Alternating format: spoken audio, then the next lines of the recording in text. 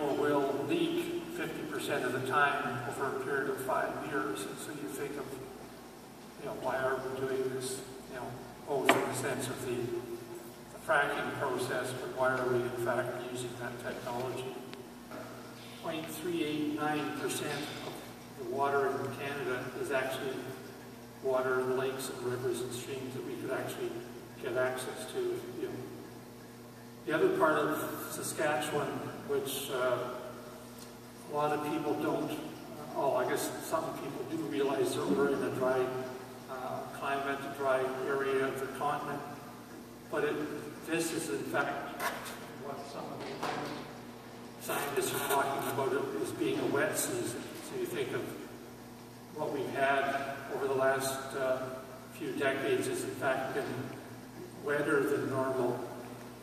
There's been droughts in the neighborhood of 30 years happening fairly regularly so that you think of, okay, uh, some of our parents or grandparents would have gone through the, the 30s and dealt with that question. Well, that was only about 10 years long. Just imagine what if we were to start now, what a 30-year drought, and, and, how many people would be left in Saskatchewan? And what could we do or what couldn't? There's been mega droughts, which I'm assuming is greater than 30 years, back in the 1400s as well as in the 1500s. So again, you're probably looking at maybe 50 to 70 years worth of droughts of lower than average water. The one that, that kind of uh, blew me away from was a comment by David Sauchyn from the University of Regina talking about water flow in, in this area.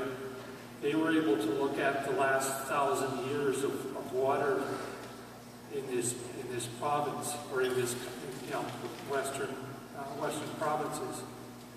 And one interesting fact kind of bounced out of some of his investigations. He was able to get into the Hudson, Hudson Bay fur trading records because, of course, those guys took very meticulous notes. And unfortunately, I couldn't uh, find the date, but sometime in the last probably 400 years or so, the North Saskatchewan River did run. So you think of, well, what would happen if you know, the North Saskatchewan didn't run?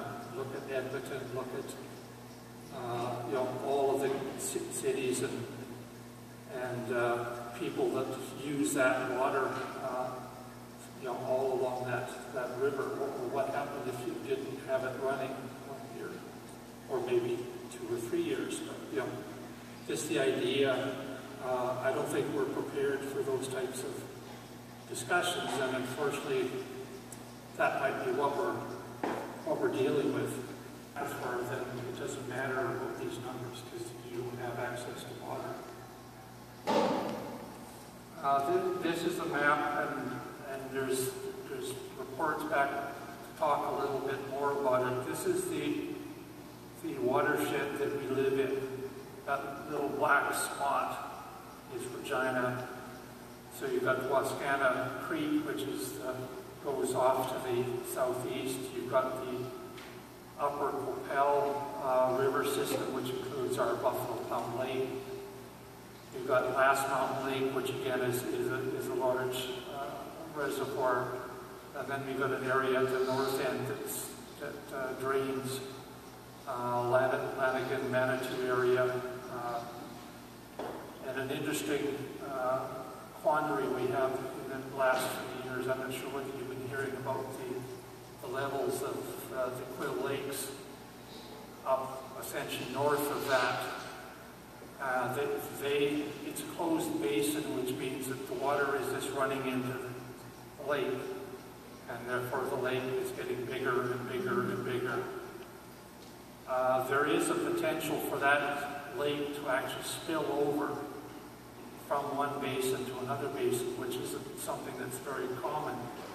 And guess where it comes in? It comes in through the Lanigan Manitou area, essentially running into uh, Last Mountain Lake and then eventually into the Qu'Appelle River system. And, but one of the bigger problems with that lake system is it tends to be out, uh, saline, which means, again, if you're looking at quality of water, then, then you've got, then you've got problems with that saline water uh, coming into the lakes. Now, we can't handle it, what do we do? The biggest one that I see is, is a problem is we potentially have five potash mines coming on stream probably in the next th- probably 30 to 40 years. Each of those mines uh, uh, take a, substantial amount of water out of the system. And one mine that they're suggesting has an estimated population value of 147,000 people. So just imagine you've got five mines, about 150,000 population. That's like adding three quarters of a million people into this province by simply putting those five mines into the ground. And again, you know, can the system handle that type of a, a draw? And again, that's just within this watershed that I just pointed out. That's not talking about any, any anybody else uh, in the sense of water demand. Um,